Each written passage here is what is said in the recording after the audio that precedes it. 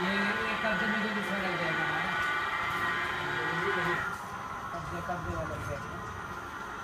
ज़रूरी आपका मतलब